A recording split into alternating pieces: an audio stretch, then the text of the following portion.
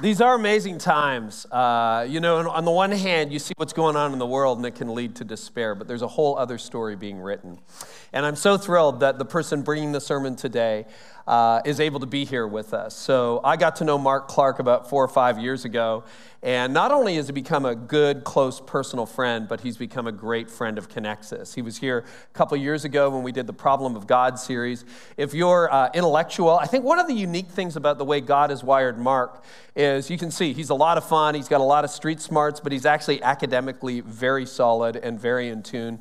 He wrote his first book is called The Problem of God, and we taught through it uh, and some of the principles in it a few years ago. It's definitely worth reading if you're skeptical and you have evidentiary questions about Jesus.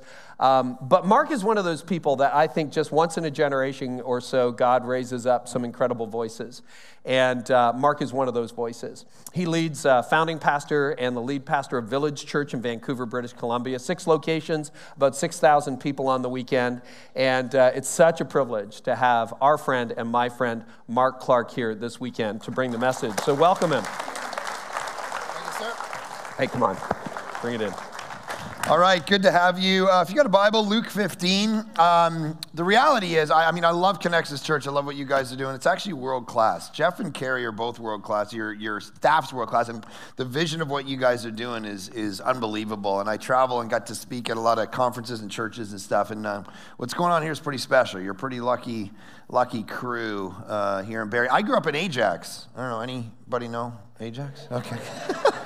then I moved to Vancouver, and uh, once you go to Vancouver, you just never come back here. So if you don't, if you want to see your kids and your grandkids, don't let them visit Vancouver because it's pretty addictive. Anyways, uh, good to be with you guys. Uh, Luke 15. Here's a, here's a very interesting story Jesus tells. Probably the most famous story Jesus tells. It's been called the prodigal son story. It's not actually a great name for it uh, because um, it's not about one lost son, it's about two lost sons. And these two lost sons are lost in two opposite ways.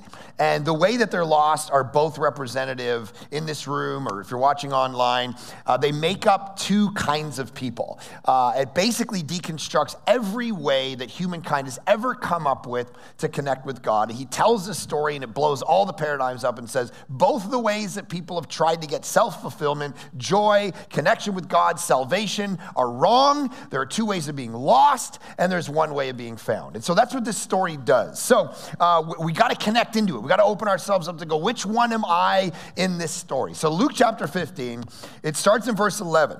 Uh, he says this A man had two sons. The younger of them said to his father, Father, give me the share of the estate I have coming to me. And so, in that culture, this is like the, the son, it's very offensive, right? Because he's saying, You have money for me that's gonna come to me when you die, and I want it now. So, basically, uh, I wish you were dead now. So, it'd be like guys walking up to your grandparents and being like, Hey, listen, I know you're giving me dough. Like, how you feeling? All right, time's ticking here. Like, I gotta get a down payment for a house.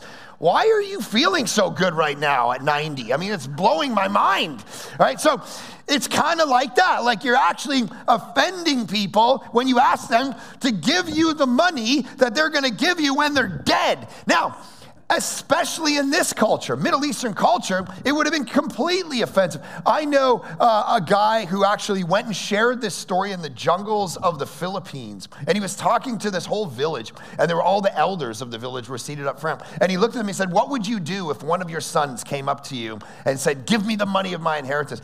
And they all looked down, kind of to the ground, and they were like, uh, you know, didn't want to answer. He's like, "No, what would you do?" And one of them stood up, and he was standing there, and he had this stick, and he said, "We'd beat him to death." Right? right? Literally, that's what most cultures would do, is they would beat this kid to death, right? Because what is this kid about? He's like, give me what I want now. And some of you are this kid. You look at God and you say, give me your stuff, but I don't want you. Give me health. Give me blessing. Give me gifts. Make my family all right. I'm not that interested in you, though. And so you're lost in a way where you don't know God. You're the irreligious kid in the story. So here's what he does Um, so he distributed the assets to them. God the Father in the story gives the kid his money he's asking for, which is crazy. And uh, one of the things I want you to do is actually love God, is actually know that he's so good, he's so loving, he's so beautiful. He actually gives you stuff you don't deserve. He's not dumb, he's not nearsighted. He's not like, okay, kid, take the money, I want you to like me. He's like, no, you know what? I know you're a disaster, and I'm gonna give you the stuff anyway right? That's beautiful. That's your life, by the way. In case you're like, you're a disaster. That's the first thing in the story, all right? And God let you wake up this morning. Like the fact that you're alive, you should just be like, ah, right now. Like it should blow your mind that God gave you another day, right? He let you live today. He put breath in your lungs. He decided not to kill you last night. Praise God. That's like issue number one, all right? You're alive. He gave you life, even though you're a disaster, even though you're like, just give me health, give me money, let my family. But put it. He goes, you know what? I'm going to let you live another day. This is how good the Father is. He's not dumb, He's good. This is who God is. And so this kid takes the money and he goes off. Not many days later, verse 13, the younger son gathered together all he had and traveled to a distant country where he squandered his estate in foolish living. So he goes off, he does whatever he wants. All right, he's the irreligious son, he's the secular son, he's the son who's that, and some of you are that. This was me growing up. All right, I grew up in an atheistic home. No, no church, no Bible, no, no anything, no God. Uh, my fam, my father was ardently atheistic. He was against Christianity in every way. And I didn't ever want to come to a church uh, because I knew that the church would just, in my brain, a church. Like I, I became a Christian when I was 17, 18, but I just sat around and read the Bible. I, I just smoked cigarettes and read the New Testament and be like, I need to follow Jesus and figure this life out. And I don't want to go to a church. And everyone kept inviting me to a church. I was like, I don't want to go to church because I know what church is going to be. All right, church is going to be, it's going to be orange shag carpet and smell like mothballs, and it's going to be old, and I don't want to do it. All right. And then I showed up to a church, and it was exactly like that. All right. But there were pretty girls there, which is why I stayed. And then I married one of those girls. So, but this was my life growing up, very atheistic. I'm, I'm, I'm a skeptic. I'm an evidential uh, uh, who in this room is kind of more of like a like an evidential thinker? Like you don't believe stuff unless there's evidence right? Yeah. It's like you're like me. Like, like i'm not going to believe you. I want to see it with my own eyes right? Um, uh, my i have a 13 year old daughter an 11 year old daughter a 9 year old daughter. Uh, so you can pray for me. So we uh, when my daughter, like last year for the first time, like when your kid grows up, you're kind of with them all the time. And then they get to this age where all of a sudden they want to do this crazy thing, like live life without you there. And I'm like, that's not gonna happen. So she was like, Can I walk to the convenience store with my friend? And she's like 12 years old. I'm like, No, that's not a thing. I know there's guys in vans with like the circular bubble window that I don't want around you. So I'm like, No, that's not gonna happen. So I'm gonna actually, you know, so she went out the door to the convenience store with her friend. And I looked at my wife, I said, I'm gonna follow them. Um, and she's like, No, you're not if she ever found out that you followed uh, them, she would be so mad. You're not going to do that. You should not do that. And I'm like, are you saying I should do it with the with the head and then you're not? You're saying no because that sounds right, but you're. She's like, no, you should not do that. You should never do that. I'm like, okay, I'm really confused. I'm just going to go. So I went and I got in the car, and I followed my daughter. I kept the distance. She never found out. Um, I kept my distance and I watched her. And then, literally, like her friend and her at the convenience store, and I'm sitting at like this pizza joint where I can see them, like standing outside the convenience store. And the guy's like, Hey, are you gonna order anything? I'm like, Shut up, go away. I'm busy, right? And I'm zoned in because that's who I am. I don't believe anything unless I see it. So that was me growing up. So when a guy started telling me about Jesus, as an evidential thinker, I was like, Well, I need to actually rationally believe this. And so I started studying the science of it.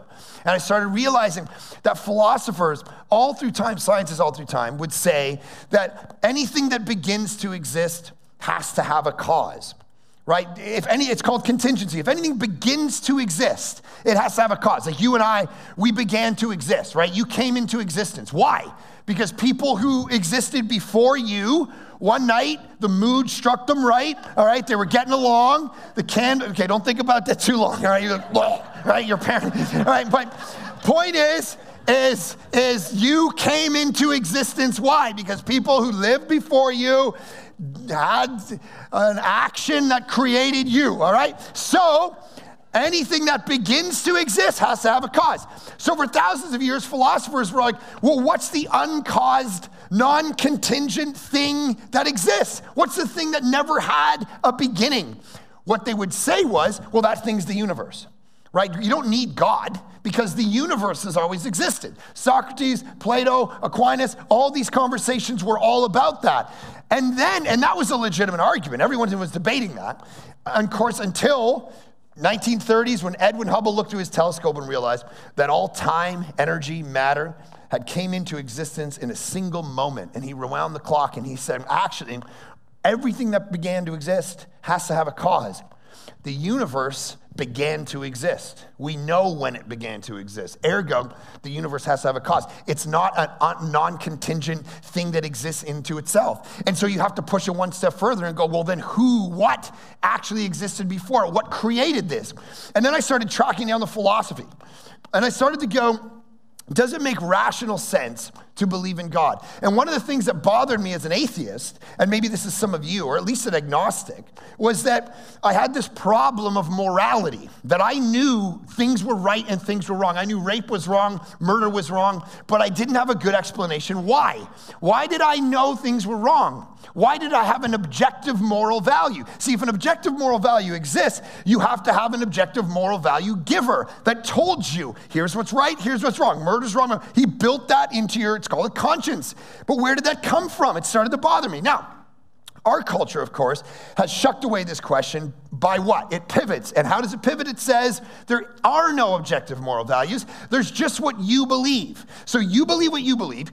I believe, don't bring your beliefs over to me. All right, you believe what you believe. I don't project your stuff on me. That's a burden. All right.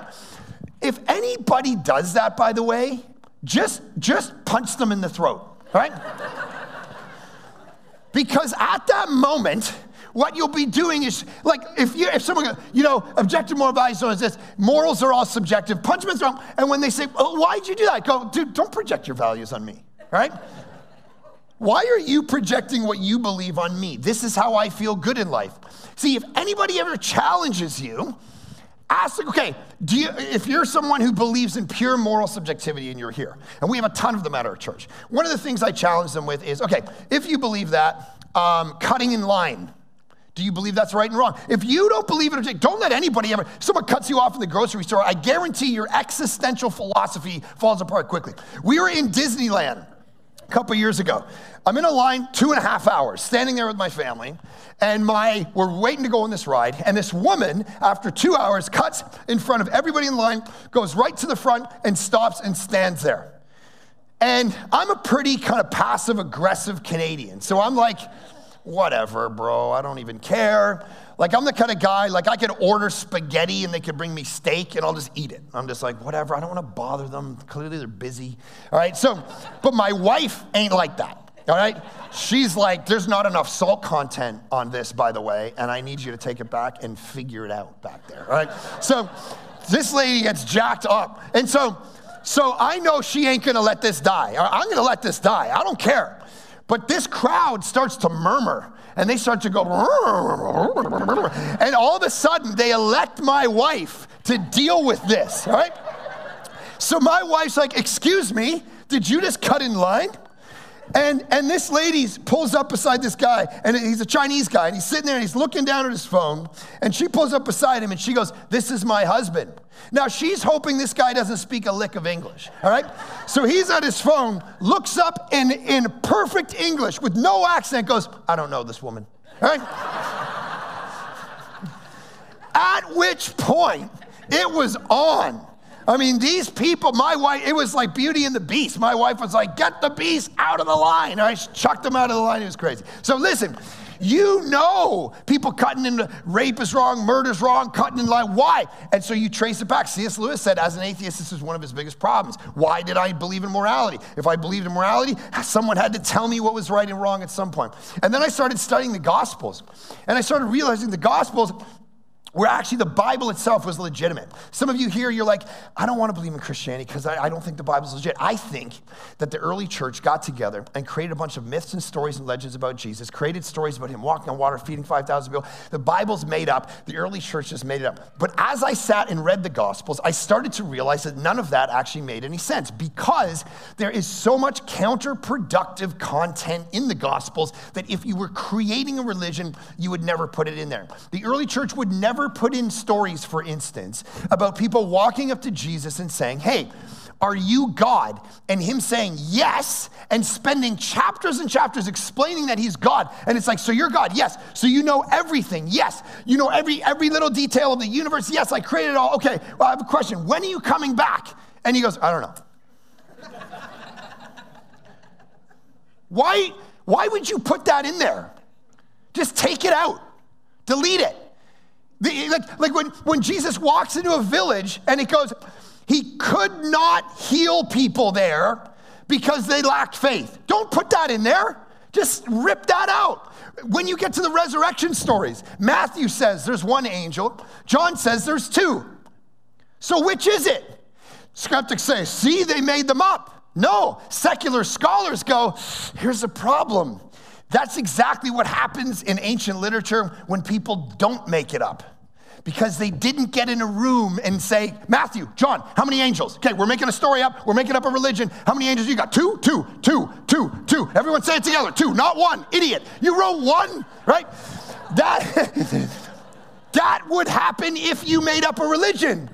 But the Gospels read like they're just telling you what they saw and what they experienced. And they're not contradictions because Matthew's telling us that there were two and John's telling us there's one because he's only focused on the one that spoke. Matthew's worried about how many were there. So there's all these things that happen. So I started tracing this down and I started realizing, man, this is actually legitimate.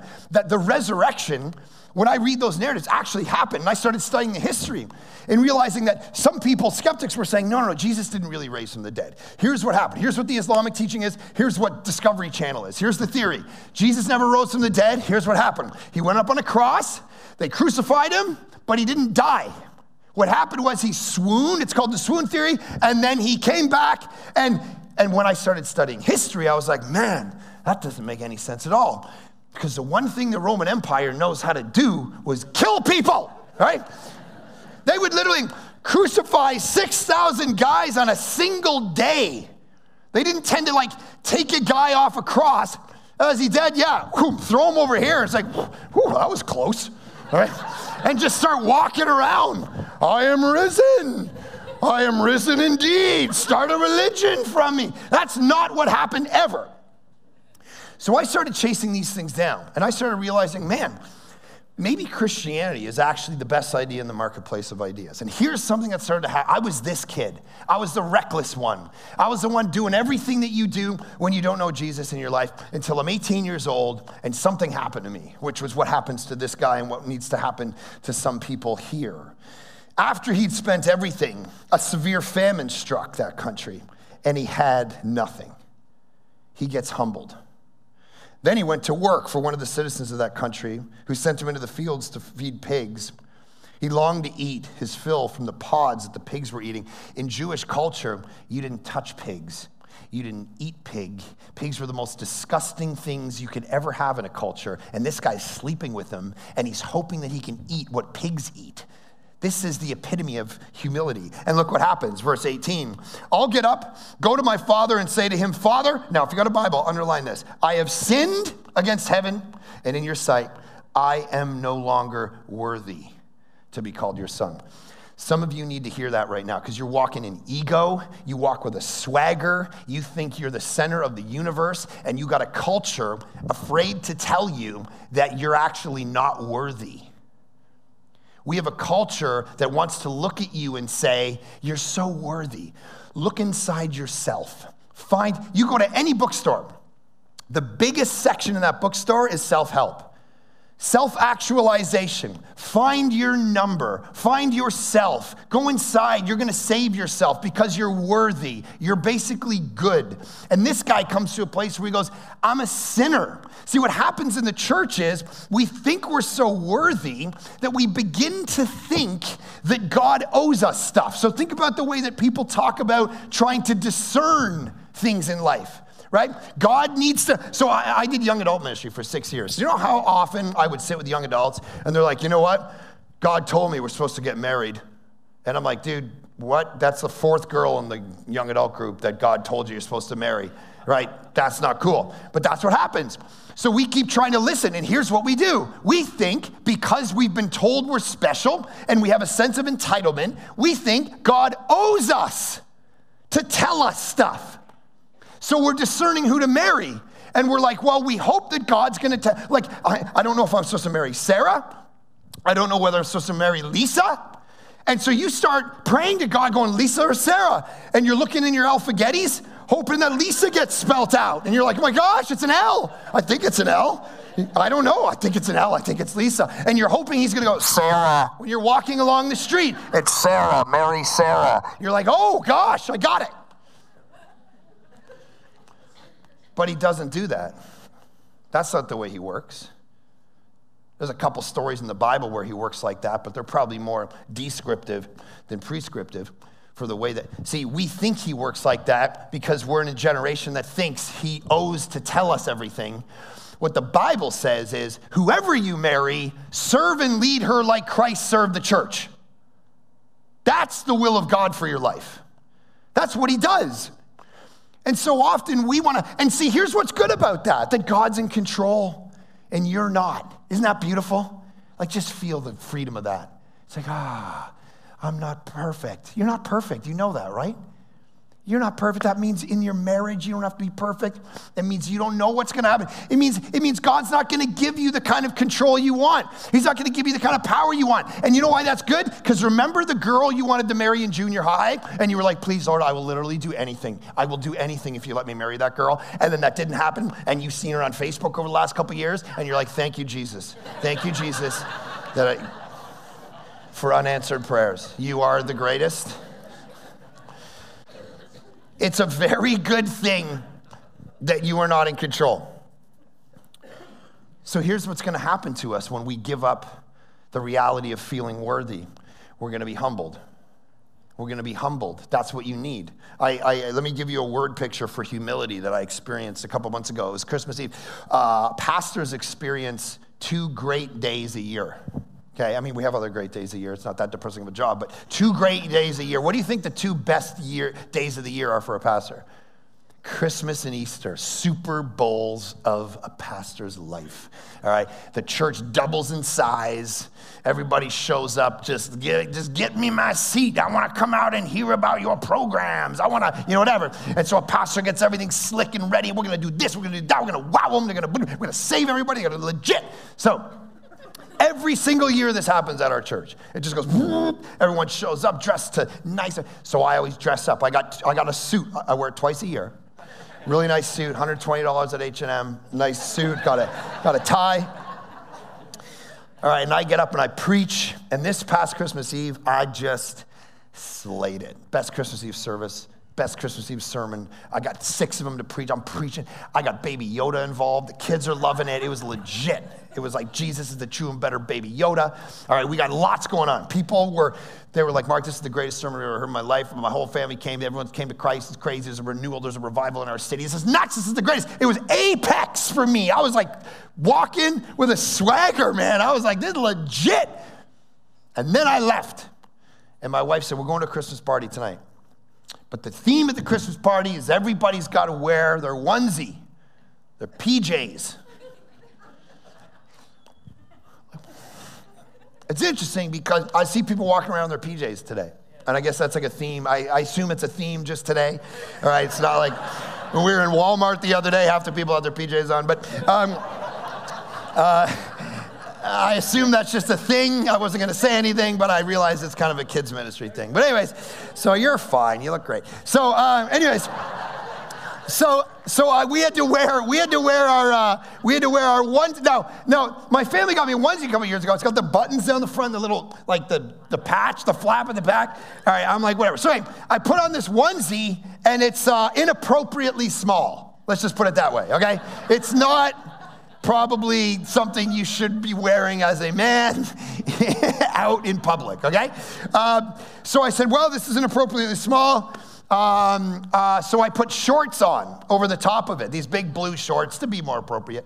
And my daughters were like, those shorts look ridiculous. Take them off. Stick with the onesie. So I'm like, all right, fine. Boom. So I took my shorts off, and I go to this party in a onesie. Red Christmas onesie, okay? Inappropriately small. So I'm walking up to the front door of this party. Okay, there's like 50 people invited to this party. And, I, and this is not a joke. I look in the window and everyone's in there. There's 50, uh, 60 year olds, 22 year olds, 40 year olds dressed to the nines.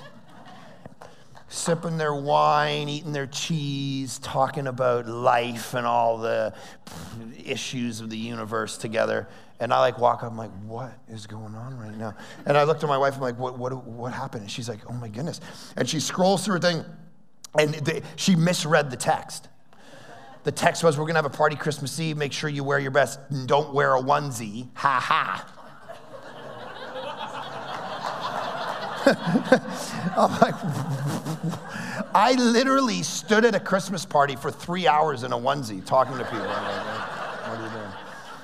Yeah, how are you? Yeah, it's good. Uh-huh. this is not a joke. This is actually my life. Point being, by the way, it's a metaphor. I went from the height of ego to the biggest loser in town in an hour, right? That is the only way this guy gets saved. He comes to a place where he goes, I have nothing. I have no ego.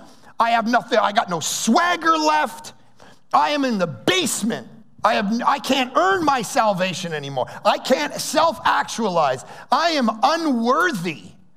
And I need you to show up, Lord. I need you to do something in my life. And so here's what happens He says, I'm no longer worthy. So he got up and he went to his father. And while the son was still, look, look at how beautiful this is. Listen to me. This is what I need you to grab a hold of in your heart. While the son was still a long way off, his father saw him and was filled with anger, beat him to death, compassion and his father saw him and was filled with compassion. He ran and he threw his arms around his neck and kissed him. And the son said to him, Father, I've sinned against heaven and in your sight. I'm no longer worthy to be called your son. But the father told his servants, Quick, bring out the best robe, which would have been the father's own robe, and put it on him.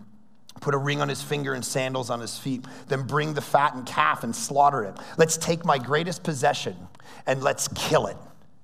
This is the gospel. This is about God Himself taking the greatest thing that He loves, His own Son, and sending it down to be slaughtered so that lost, wayward people like you can be found. And so He says, Slaughter the calf right? He was lost and is found. So they began to celebrate. This is how we need to come to terms with our own. We're broken, we're unworthy. And so we say, Father, can you please forgive me? And what you get is a God that is so good, he actually starts to run towards you. He doesn't even wait for you to get all the way to him. Is that not brilliant? He should have just moved on. He should have just built his business, forgot about this dumb son who took all his money. He should have beat him to death. And instead of that, he sees him like he's, it's almost like he's waiting for him. And the minute he sees his head coming up over the hill, he shoots for him and he kisses him and he grabs him and he puts his own robe on him and he takes the one fattened calf that they get all year and he slaughters it and he throws a party for him. This is the God who pursues you even though you don't even think about him. This is the God that gives you grace even though you don't deserve it. This is the God who hunts you down. I'll give you a, an illustration of this from my. Are there any golfers in the room? All right, golf. I love golf. Okay, kind of thing I do. Vancouver rains a lot, so my buddy owns a place in Phoenix. So one day he goes, "Listen, let's go down. Me, you, and our buddy will go down to Phoenix." So we go down to Phoenix and play golf. We show up at this golf course. They say you need to have a fourth player. We're like, "No, we just want the three of us. We don't want to meet some guy we don't know." So like, "Nope, you got to play." So this guy walks up. His name was Ethan. Hey guys, I want to play. I'm like, "Oh, here we go." So I get in the cart with Ethan. I'm a pastor, but the one thing I don't like is people. All right, so, uh, so, so, so Ethan and I start rolling around this golf course. About the whole three or four, Ethan goes, What do you do for a living? I go, Oh, I'm a pastor. You're a pastor. Yeah. He's like, I don't believe in God. I don't believe in church. I don't believe in Jesus. I don't believe in any of this stuff. It's all a gong show. It's all a nightmare. It's all a mess. I don't believe in the existence of God. There's nothing I've done in life that has ever shown me the existence of God. I would never believe in that. I said, okay, well, here we go. All right, we got 18 holes together, brother. And so we start to chat about the existence of God. I'm like, don't you ever see the little things that he does in life where he speaks to you and he gets your attention? He goes, that's never happened to me. I said, it's never happened to you. I said, dude, it will happen to you. Believe me, you ask for it, God will start to show up, and it's up to you to actually interpret it right and actually follow the grace of God in your life because he will show up. And he's like, no, not gonna happen. Literally, two holes later. I hit a golf shot. Now, I usually hit it dead down the center, about 290, 300, 320. Um, so I hit this one particular ball, weird enough, I, I, I sliced it way out into the desert, all right? Okay, it doesn't usually happen, but it happened. So I walked over, and there's this little bush in the middle of the desert. If you've ever played golf in Phoenix, it's like this just sand. And I go in thinking it's my ball, and I pull out a ball, and I'm not joking here. The ball on it has written in, in black Sharpie, sweet baby Jesus. right? That's what I said. I'm like, what? So I go, huh, this is weird. In the middle of the desert, statistically speaking, how did I find the one ball that has the very Jesus that I've been speaking to this man about?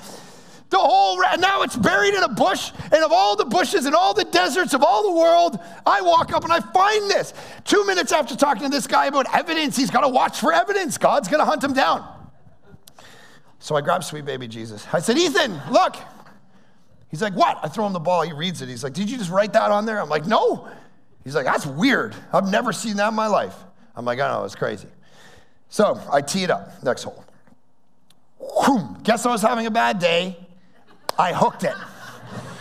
Okay, doesn't normally happen. Hooked it way out of bounds. 50 yards left, like gonzo. Hits a rock bounces a 100 feet in the air and lands dead middle of the fairway. Ethan's like, I have never in my life seen that. And I'm like, sweet baby Jesus. What? What? He is on my side, bro. How can you not believe he exists? I get up to the ball, it's in the middle of the fairway. I got 150 yards into the hole. Get out my eight iron. Some reason, again, don't know why, slices off. Okay, it's having a bad day. All these are facts. 30 yards out into the desert, hits a rock. This is no joke. Bounces directly into the middle of the fairway, like five, 10 yards short of the green. The guy's like, What is happening right now? We've never seen this. This is insane. He's like, never in my life have I hit a ball OB in the desert and it's come back into play, let alone twice. And I said, sweet baby Jesus, right? And he's like, this is nuts. This is crazy. So, next hole. Get up to a par three.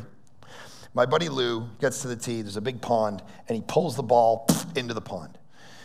And I said, Lou, sweet baby Jesus. And he teased, that was a 220 yard shot, There's water everywhere. He's got this big hybrid club, and he's like, Do you trust me with this? I'm like, I trust you with this. And Ethan says, If this ball goes in the hole, I will convert. and then I'm just like, Jesus, Lord, Father. I just start to pray, right? And Lou's up and he starts to shake, right? this guy's entire eternal existence is at stake. And uh, Lou, who's you know one of the worst golfers in the Greater Vancouver area, hits hits a ball. I've never seen him pure a shot like this. Starts to curve in toward the green. Flags over here, hits the green 10 feet from the green and starts to roll toward the hole. Nine feet, eight feet, five feet, tracking like right at it. Six feet, two feet, one foot. I'm like, oh my gosh, the angels are about to rejoice. This is going to be legit. the ball goes, rolls by the hole inches and stops a foot from the hole. At which point, Ethan just throws his club in the air. He goes, "Oh my gosh, I'm, I, am going to become a like I can't. What just happened?" He's like, he's seen Lou golf all day. Lou is everywhere, all over the golf course. This guy almost dunked it. I'm like, how can you not believe, Ethan? How can you not believe this is God hunting you down, right? Now, you guys see stuff in your life every day. The problem is you don't interpret it as the existence of God. This younger son, you come up with all kinds of reasons why it's not that, and it's not that, and it's not that. God shows up in the little things. God shows up the day that he told me to go knock on a woman's door that goes to our church. And again, I didn't really want to because I like footnotes rather than people, because footnotes don't send dumb emails. You know, eh, I don't like your music. So it's like, I'm like, I don't, I just want to read books. I don't want to deal with people. And this pastor friend of mine's like, I was praying today in my office, and you have to go visit this woman at her house today, right now. The Holy Spirit, this is true story. The Holy Spirit told me to tell you to go visit her.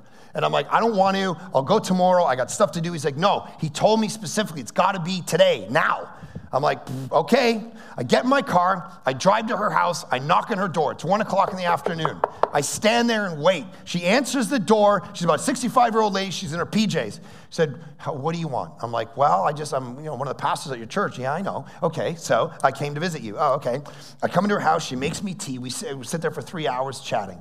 We kind of become buddies over the course of three hours. And I go to walk out of her house. I pray for her. I go to leave. She looks at me. She says, Do you know why I'm sitting here in my pajamas at one o'clock in the afternoon? It's not because I was serving at Connexus Church, it's because.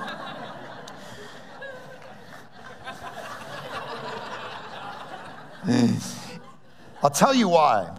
Because the last two weeks of my life have been the most dreadful, depressing weeks. Something terrible happened to me. And I walked down the stairs this morning and I walked into the kitchen and I said to myself, Lord, today I am going to end my own life unless you send somebody to the door to encourage me. And I fell asleep on my couch in my pajamas and woke up to the sound of you knocking on my door. And you don't believe in God.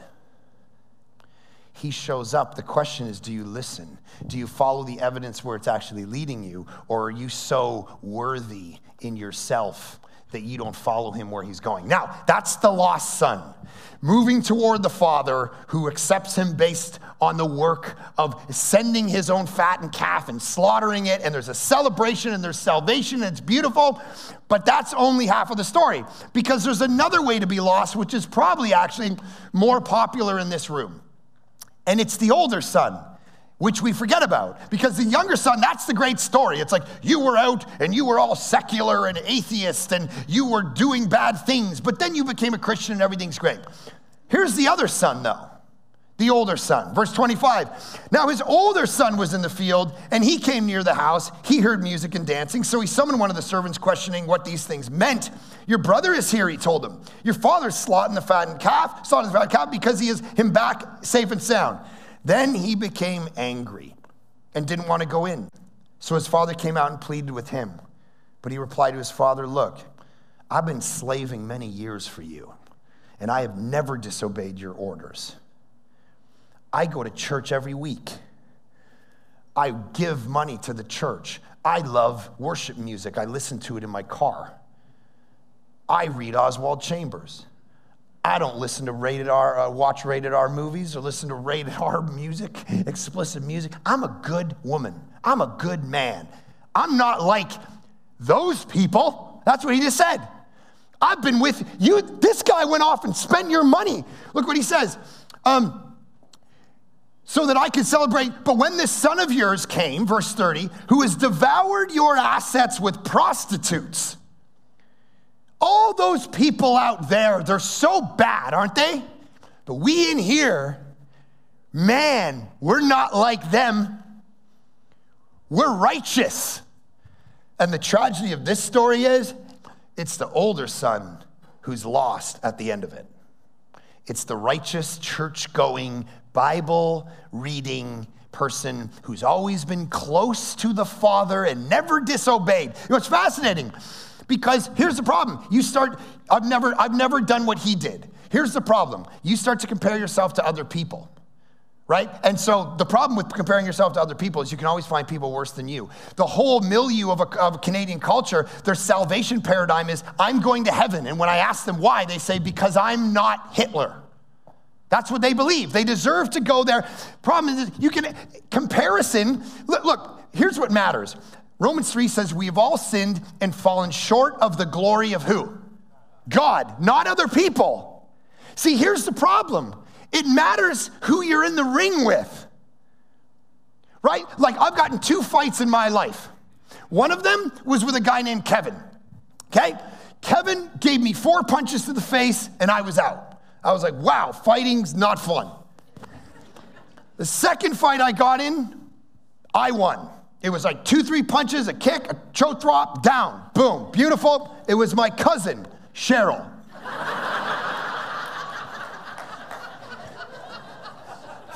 no joke. And I felt good.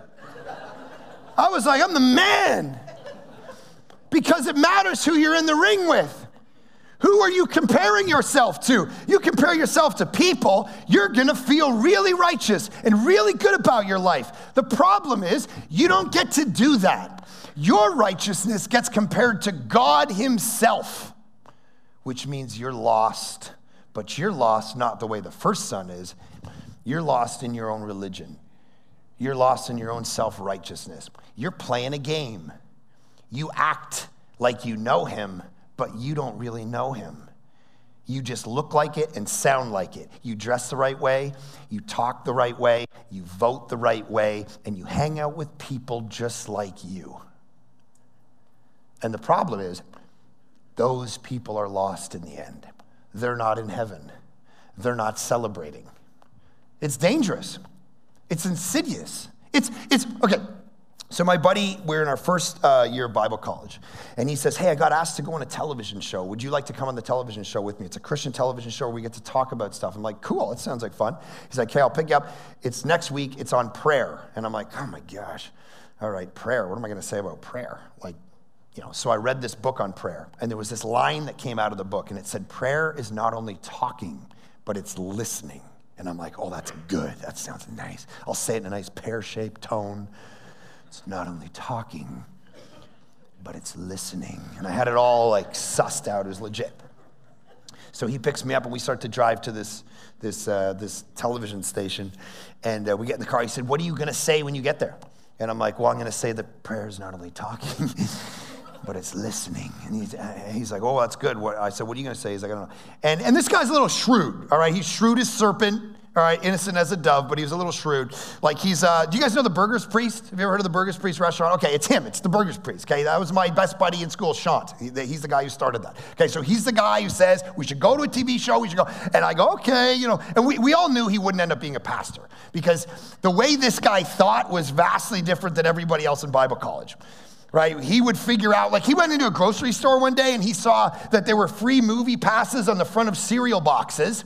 He did the math, and when uh, movies are 13 bucks a pop, the cereal box is four bucks, and he bought out every grocery store that he knew, cut out every cereal box ticket, sold them for $10 a pop at the front of movie theaters. Everyone was saving three bucks. He was making six bucks a box.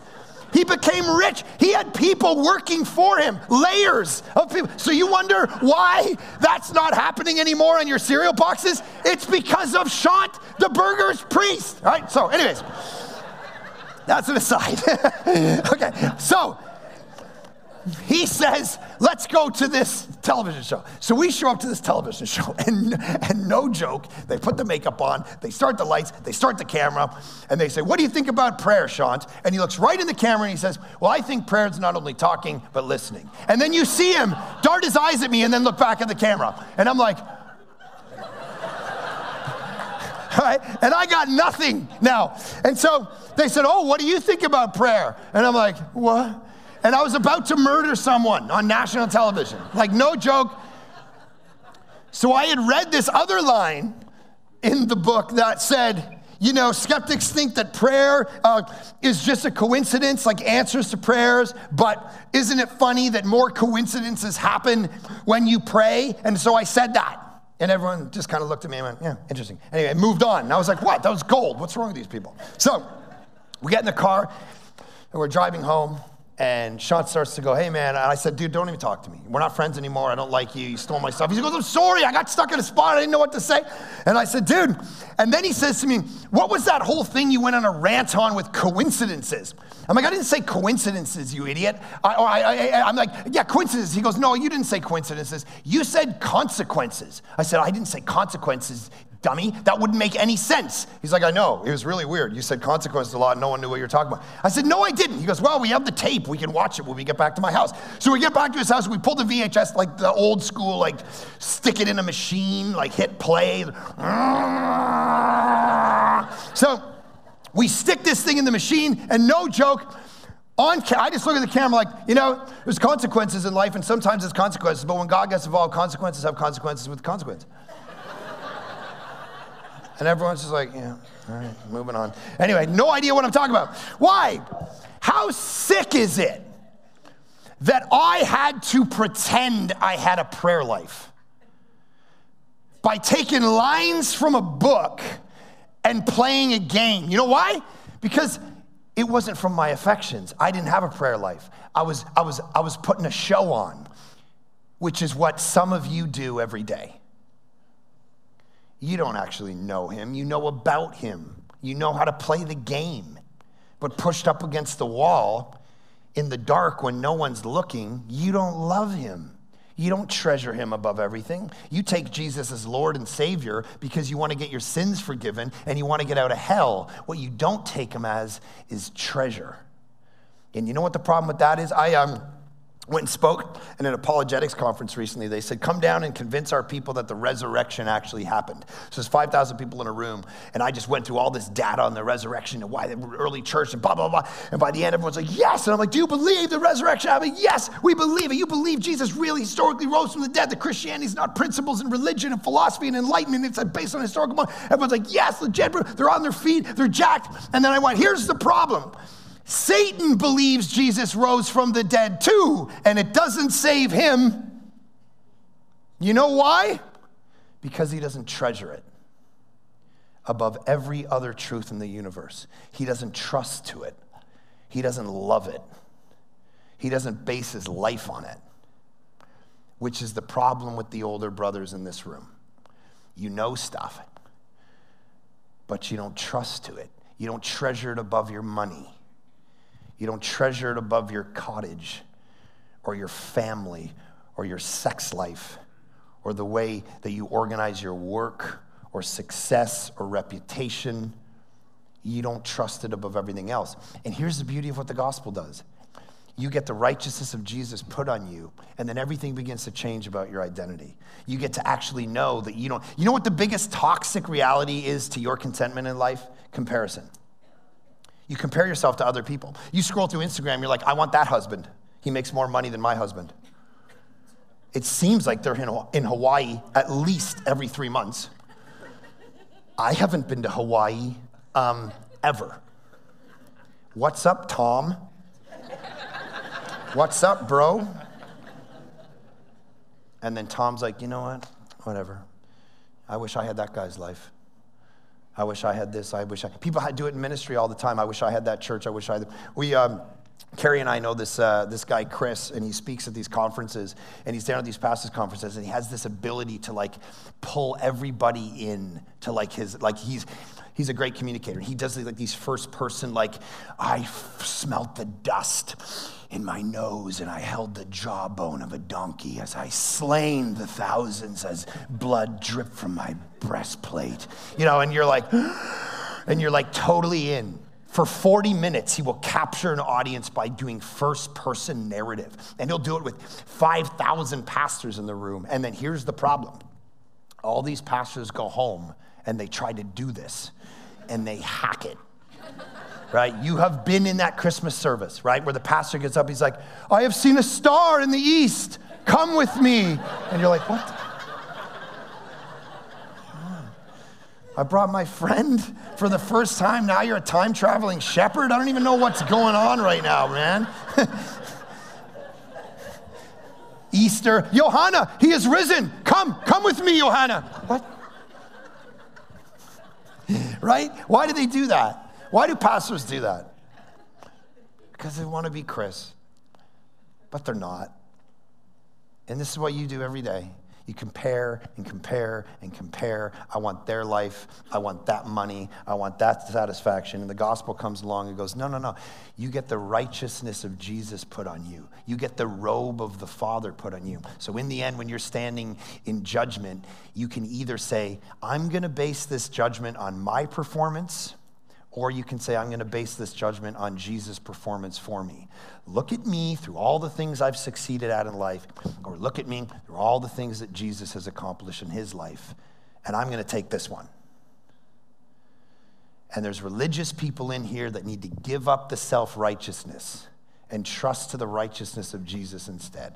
So, Father, we pray that this parable would create a, a scandal in the hearts of both of these sons the irreligious one who has run far from you, and the one who's never known anything other than a life of Christianity and church life.